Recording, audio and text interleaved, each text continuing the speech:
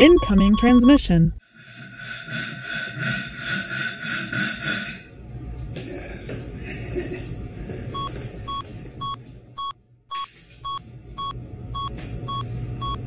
Oh, hello, Agent OU. What's that? You're having trouble with your gadget? Is it the shoe phone again? I told you you have to dial 9 before the access code to get an outside line. Or is it your new Glock? You do remember it doesn't disassemble like your PPK, don't you? oh, you're having trouble with your lighter cufflinks. Well, it's no wonder. The ladies have mentioned you have rather large mm, fingers. so remember, you must employ a bit of practice to light these tiny gadgets. Well, of course you're having difficulty. Must you ignore the instructions I provide? This particular lighter style is vintage, so they don't work like the modern ones.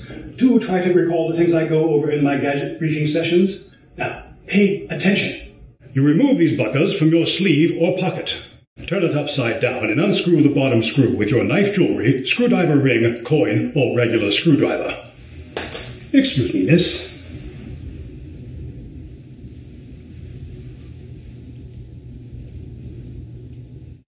Fill it with about 10 drops or so of lighter fluid.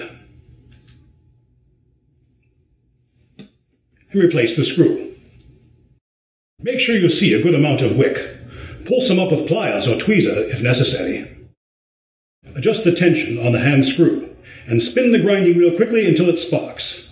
You may have to practice this a bit to get it on the first try. If it is difficult to spin, loosen the hand screw, spin the wheel the opposite direction, and try again. And if neither works, find a precision screwdriver. I'll use my switchblade tie clip. Use the tip of the knife pointing down to loosen the screw on top of the wheel ever so slightly, and try again.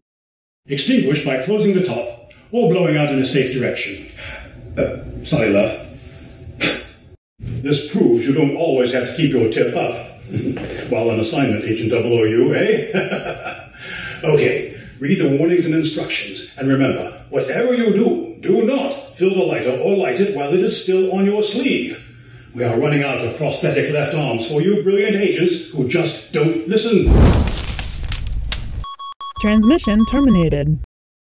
Warning, follow directions carefully. Keep away from children that you like, especially children who have litigious parents. Do not light or fill lighter while on sleeve. Do not operate while under the influence of drugs or alcohol, neither shaken nor stirred. Do not incinerate. Filling your Aston Martin with petrol while lighting cufflinks can cause serious injury. Do not keep lit for more than 10 seconds per use, as the lighter will get too hot to handle. Due to its tiny size, you will not be able to get as many flicks as a full-size lighter. Stop calling the Tactical Control Hotline to complain about this. Store lighter cufflinks in spare body bag or small airtight pouch when not in use to prevent fluid evaporation. Inspect frequently for damage, leaking, and electronic bugs. Note that no arms were harmed in the making of this video. If this had been a case of you actually filling or lighting your cufflink while still on your sleeve, the arm you just saw in flames would have reached out and slapped you for doing something so stupid. All joking aside, please read the warnings and instructions for proper use. This video is exclusively for the training of secret agents employed by YOUgNeek. If you are a trainee and have not yet been issued the company lighter cufflinks or the knife jewelry, or if you just want more cool tools and gadgets you can wear, please go to the company website at www.YOUgNeek.com. That's www.YOUgNeek.com.